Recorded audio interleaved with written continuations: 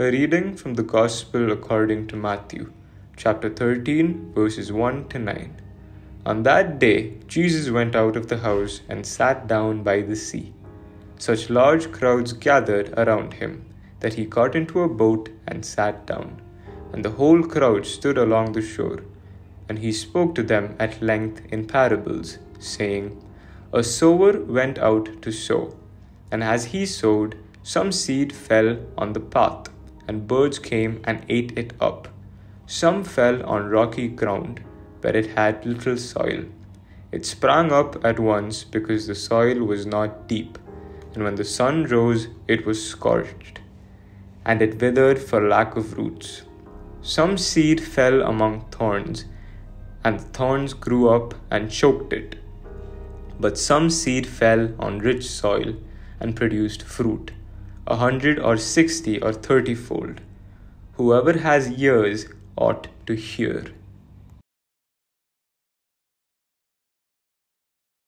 This parable of the sower is somewhat the mother of all parables because it speaks about listening to the word. It reminds us that the word of God is a seed which in itself is fruitful and effective, and God scatters it everywhere paying no mind to waste. Such is the heart of God. Each one of us is ground on which the seed of the word falls. No one is excluded. The word is given to each one of us. We can ask ourselves, What type of terrain am I? Do I resemble the path, the rocky ground, the bramble bush? If we want, with the grace of God, we can become good soil plowed, and carefully cultivated to help ripen the seed of the word. It is already present in our heart, but making it fruitful depends on us. It depends on the embrace that we reserve for this seed.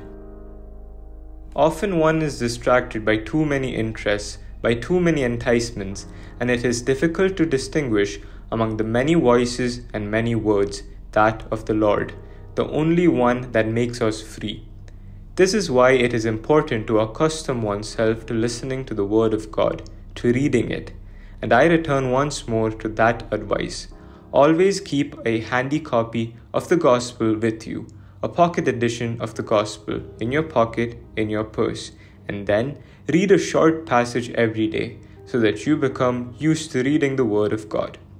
Understanding well the seed that God offers you and thinking with what soil do I receive it?